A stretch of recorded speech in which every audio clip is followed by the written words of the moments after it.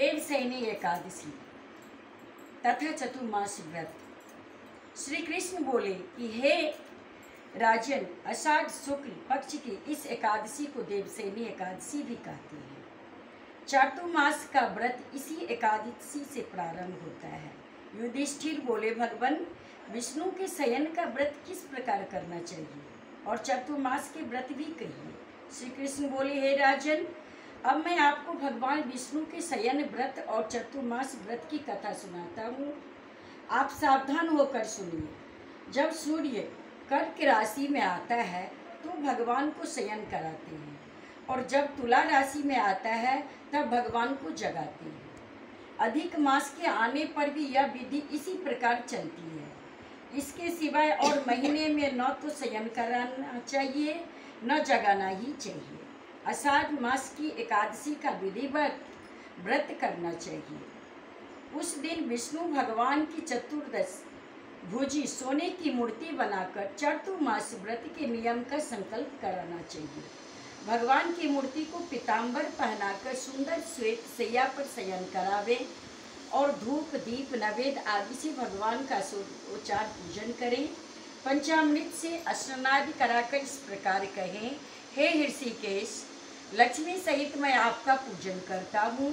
आप जब तक चतुर्मास शयन करें, मेरे इस व्रत को निर्विघ्न रखें। इस प्रकार विष्णु भगवान की स्तुति करके शुद्ध भाव से मनुष्यों को दातुन आदि के नियमों को ग्रहण करना चाहिए। विष्णु भगवान के व्रत को ग्रहण करने के पाँच काल वर्णन किए हैं। देवसैनी एकादशी से यह व्रत किया जाता है। एकादशी, द्वादशी, पूर्णमासी, अष्टमी और कर्क की संक्रांति से व्रत प्रारंभ किया जाता है। तथा कार्तिक शुक्ला एका द्वादशी को समाप्त कर दिया जाता है। व्रत को करने से समस्त पाप नष्ट हो जाते हैं और जो मनुष्य प्रतिवर्ष इस व्रत को करते हैं, वे सूर्य आदि दीप्तिमान विमान पर विमान पर बैठकर स्वर्ग को जाते हैं। इस व्रत में गुरु तथा शुक्र की बाल वृद्धा अवस्था वर्जित नहीं है। यदि सूर्य धन राशि के अंश में भी आ गया तो यह तिथि पूर्ण समझी जाती है।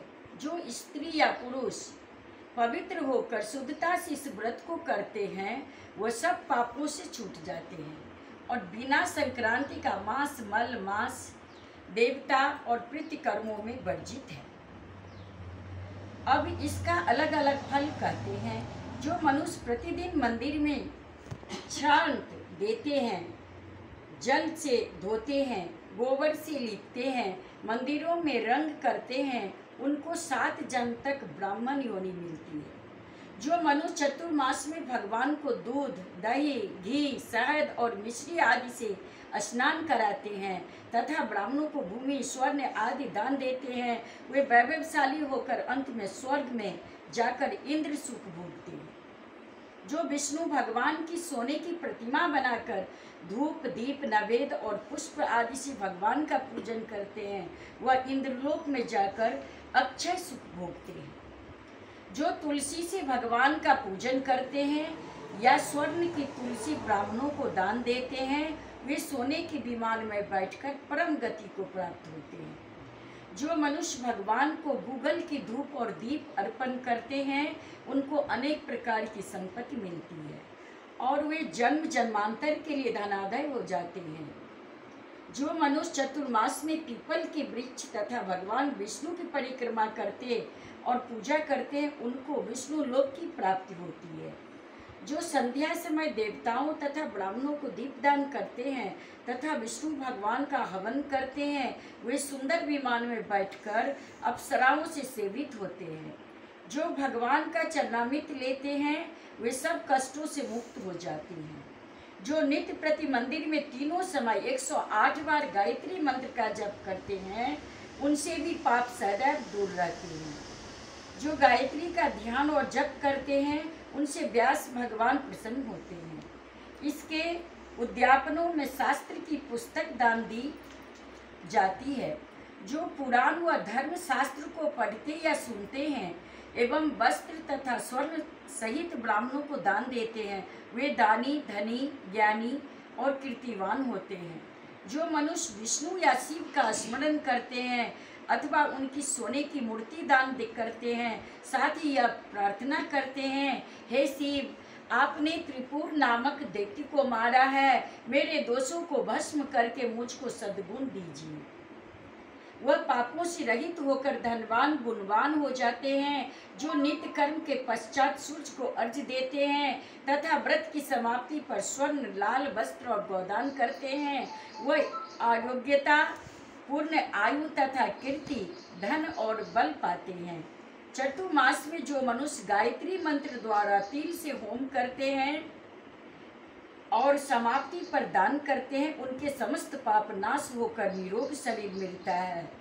तथा सुपात्र संतान मिलती है, जो मनुष्य अन्न से हवन करते हैं और समाप्त हो जाने पर घी का घूट भर कर वस्त्र सहित दान करते हैं, वे ऐश्वर्यशाली होकर ब्रह्मा के समान भूख भोगते हैं। और उनके शत्रुओं का नाश होता है, जो पीपल का पूजन करते हैं तथा अंत में स्वर्ण सहित वस्त्रों का दान करते हैं, वे सब पापों से छूटकर भगवान के भक्त हो जाते हैं। और जो मनुष्य तुलसी जी को धारण करते हैं तथा अंत में भगवान विष्णु के निमित्त ब्राह्मणों को दान करते हैं, वे विष्णु लोक को जाते हैं। जो मनुष्य चतुर्मास व्रत में भगवान के शयन के उपरांत उनके मस्तक पर नित प्रति दुर्वा चढ़ाते हैं और अंत में स्वर्ण की दुर्वा दान करते हैं, वे भी वैकुंठ लोक हो जाते हैं। जो और जो दान करते हुए इस प्रकार स्तुति करते हैं कि हे दुर्वे, तुम इस भांति इस पृथ्वी पर शाखाओं सहित फैली हुई हो, उसी प्रकार मुझे भी अजर अमर संतान दो। इस प्रकार स्तुति करके सोने की दुर्वा ब्राह्मण को दान कर दें। ऐसा करने वाले मनुष्य सब पापों से छूट जाते हैं और अंत में उनको स्वर्ग लोक की प्राप्ति हो जाती है। जो भगवान विष्णु और शिव के मंदिर में जाकर जागरण और शिव गान कर गाते हैं, वे भी स्वर्ग को प्राप्त होते हैं और चतुर्मास व्रत में उत्तम ध्वनि वाला घंटा दान करते हैं। उनको यह प्रार्थना करनी चाहिए। हे भगवान, हे जगतपते आप पापों के नाश करने वाले हैं। आप मेरे कान करने योग्य कर्मों को तथा न करने योग्य पापों को करने से जो पाप उत्पन्न हुए थे, उनको नष्ट करिए।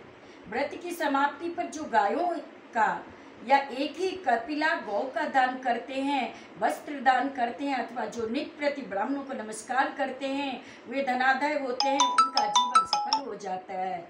साथ ही समस्त पापों से छूट जाते हैं, चतुर्मास में जो ब्राह्मणों को भोजन कराते हैं, उनकी आयु तथा लक्ष्मी की वृद्धि होती है। जो मनुष्य स्वर्ण का सूर्य बनाकर ब्राह्मण को दान देते हैं, उनका, उसका फल सौ यज्ञों की समान होता है। जो शिव जी के प्रसन्नार्थ चांदी या तांबे का दान करते हैं, उनको श्रद्धा से पुत्र की प्राप्ति होती है। जो शहद युक्त चांदी का बर्तन अथवा तांबे के पात्र में गुड़ भरकर और शयन होने पर तिल, सोना और जूते का दान करते हैं, वे शिव लोग को प्राप्त होते हैं। जो मनुष्य चतुर्मास में ब्राह्मणों की पूजा करते हैं, अन्न वस्त्र का दान देते हैं, तथा समाप्ति पर सैया दान देते हैं, वे अच्छे सुख को प्राप्त करके लक्ष्मीवान होते हैं। जो वर्षा ऋतु में गोपी चंदन दान करते हैं, वे भोग और मोक्ष को प्राप्त होते हैं। जो सूर्य और गणेश जी का पूजन करते हैं, वे उत्तम गति को प्राप्त होते हैं। जो चतुर्मास में भगवान का हवन करते हैं और शक्कर दान करते हैं, साथ ही उद्यापन करते हैं, उद्यापन की विधि कहते हैं, चार पल या आठ पल वाले तांबे के पात्र में शक्कर भरकर वस्त्र फल सहित दक्षिणा सहित पुरोहित को देते हैं, उनके सब पाप नष्ट हो जाते हैं और उन्हें यशस्वी पुत्र की प्राप्ति होती है। हे कुंती पुत्र, चतुर्मास व्रत करने वाला मनुष्य गंधर्व विद्या में निपुण और स्त्रियों का प्रिय होता है। जो मनुष्य चतुर्मास व्रत में फल, मूल, साग आदि का दान देते हैं, वे सुखी और राजयोगी होते हैं। जो मनुष्य इस व्रत में प्रतिदिन सोठ मिर्च पीपल, वस्त्र और दक्षिणा के सहित दान करते हैं, अंत में सोने की सोट मिर्च आदि दान करते हैं, वे सौ वर्ष तक जीवित रहकर स्वर्ग में जाते हैं। जो बुद्धिमान ब्राह्मण को मोती का दान करते हैं, वे कीर्ति को प्राप्त होते हैं। जो मनुष्य इस व्रत में तांबुल दान करते हैं तथा जितेंद्रिय होकर पान खाना छोड़ देते हैं और अंत में लाल वस्त्र का दान देते हैं, वे सौंदर्यशाली, निरोग, बुद्धिमान, भाग्यवान तथा सुंदर वाणी बोलने वाले बनते हैं। तांबुल के दाम से देवता प्रसन्न होकर अनंत धन देते हैं। जो मनुष्य इस व्रत में लक्ष्मी जी और पार्वती जी को प्रसन्न करने के लिए हल्दी का दान करते और अंत में चांदी के पात्र में हल्दी भरकर देते हैं, वे स्त्रियाँ अपने पति के साथ और पति अपनी पत्नियों के पत्नियों के साथ सुख भोगते हैं तथा सौभाग्य, अक्षय धन व सुपात्र संतान मिलती है। साथ ही वे देवताओं से पूजित होते हैं जो शिव और पार्वती जी की प्रसन्नार्थ ब्राह्मण, स्त्री तथा पुरुष का पूजन कर दक्षिणा, वस्त्र और स्वर्ण दान करते हैं और उद्यापन में शिव की स्वर्ण प्रतिमा बनाकर दान देते हैं, बैल का दान करते हैं तथा मीठा भोजन भूखों को कराते हैं, उन्हें संपत्ति और प्रीति मिलती है। वे इस लोक में सुख भोग कर अंत में मोक्ष